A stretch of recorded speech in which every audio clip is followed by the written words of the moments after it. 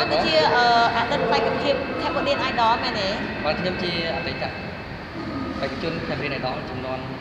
ទី1ដល់ការទី1គឺឆ្នាំ2015តាមពេលដែលពីប្រឡងហត់ដល់ឥឡូវបងបងសុំតងដោយសារតែបងឃើញសក់របស់អូនគឺអត់មានរហូតអញ្ចឹងមូលហេតុអីបានបានសក់យើងកៅអញ្ចឹងរហូតអូនជាស្ដែងសក់របស់ខ្ញុំនេះគឺវាជ្រុះសក់មួយថ្ងៃខ្ញុំសម្រេចចិត្តឲ្យកោវាតែម្ដងទៅក្នុងមួយថ្ងៃខ្ញុំកោ4ដង4ដងអូមួយសប្តាហ៍ម្ដង ជ្រុះច្រើនឬក៏ជ្រុះតិចតិចឬក៏ជ្រុះរបៀបមិនចាំនេះគឺជ្រុះតាំងពីខ្ញុំអាយុ23ឆ្នាំឥឡូវនេះខ្ញុំអាយុ25ឆ្នាំហើយបែរថាជ្រុះមូលហេតុគឺដោយសារដំណោះពូជមិនមែនជាបញ្ហាគិតច្រើនឬក៏មកពីបញ្ហាប្រើផលិតផលអីខុសអីអត់ទេគឺដំណោះពូជបែរថាឪពុករបស់ខ្ញុំគាត់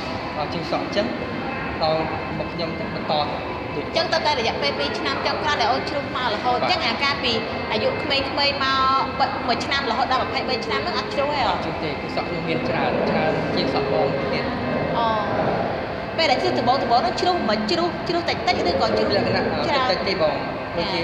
មួយថ្ងៃ3 4សរសៃនេះក៏ច្រើនតបទៅទៀតហើយ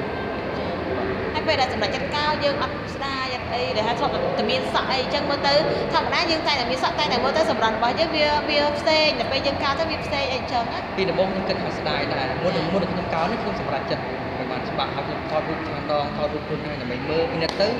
ខ្ញុំមានអារម្មណ៍ថាមើលទៅវាទៅបែបឆ្កកឆ្កកនេះខ្ញុំក៏អត់ចូលចិត្តបែបនេះខ្ញុំក៏សម្រាប់ចិត្តកោទាំងអស់ទាំងដងដើម្បីឲ្យវាអស់ទាំងអស់ទាំងដងទេ